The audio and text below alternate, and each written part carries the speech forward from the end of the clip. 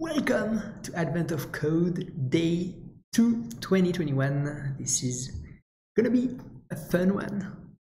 Today we are working with the submarine that can uh, go forward, go up or down, and that is it.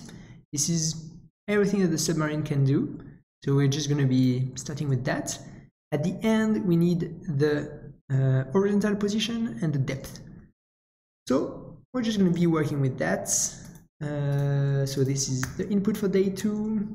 And here we want to take the original stuff from day one, paste it here. And here we're not going to be, so here, like on day one, what we're doing is uh, we are parsing the content of this file, splitting by line by line, and we are filtering to make sure we remove stuff like an empty line. And here, what we want to do, we want to split on a space. So x split. Oh, actually, let's return a proper object. It's gonna be a direction. It's gonna be you know what? This is let's make actually something clean.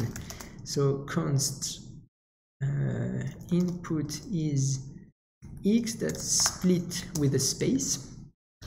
And then actually we're to call that uh, direction. And then we're going to call that um, number. I don't know n let's call this n.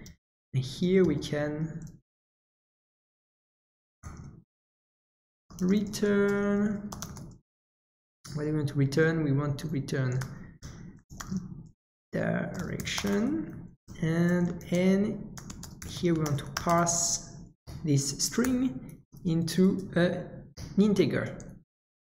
So yeah we're just taking for each line we are splitting on the space.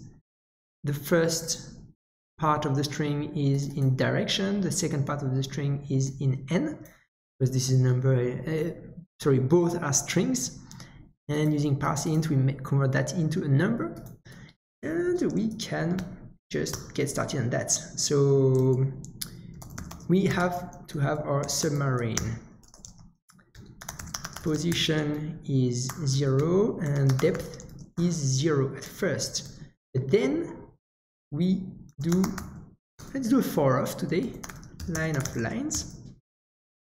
A for of is quite interesting because I mean not really crazy interesting but it's just a nice way to go over uh, an array of elements without having to use the index.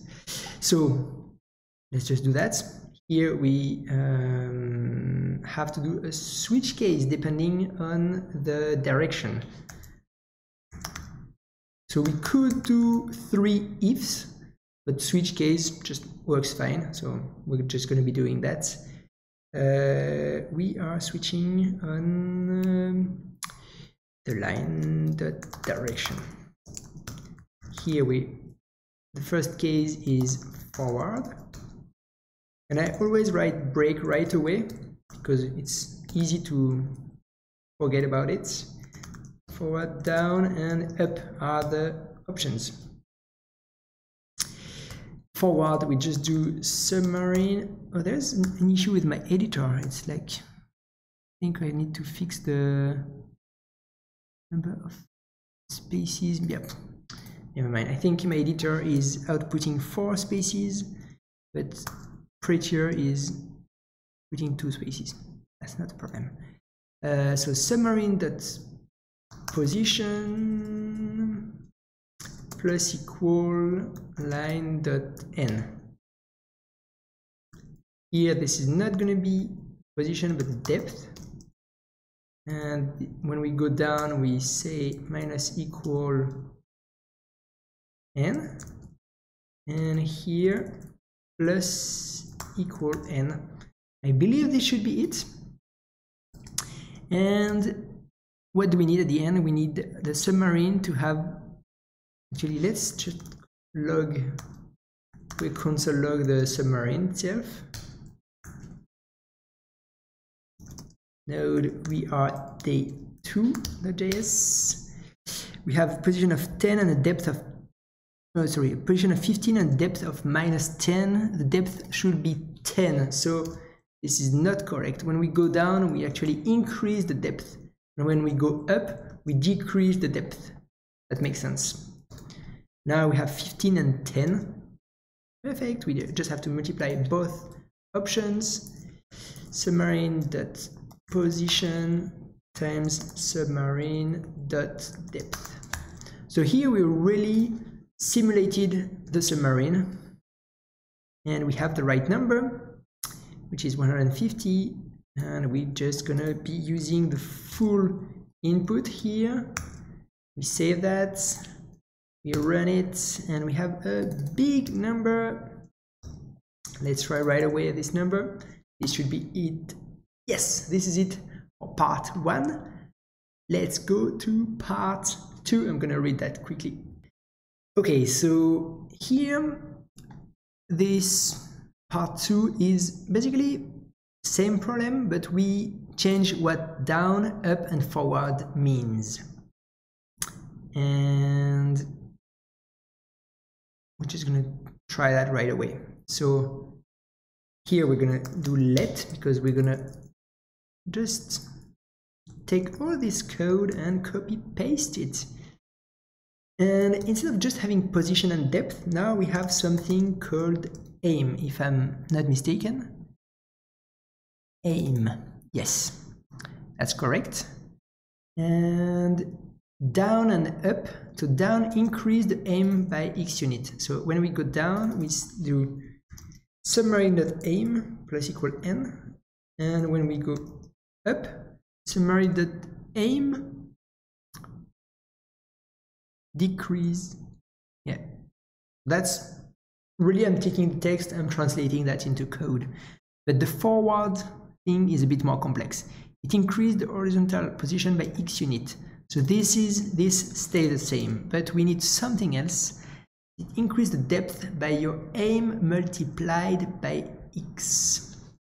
So submarine and depth plus equal submarine dot aim times submarine increase the depth by your aim multiplied by x. So x so yeah, what they call x, for us it is line.n. Should have called that x. Okay. You know what? If we do that, would that work? Oh, what I did. Yeah, oh, that's not air. Sorry, I'm just using a very cool feature from VS Code, which is if you do F2, I believe, you can just rename a variable. So we call it X, and it renamed the variable everywhere. That's perfect on, on our, for our use case. So let's get back to business. uh, it's increase the depth by your aim multiplied by x. Increase the depth multiplied by the aim multiplied by x.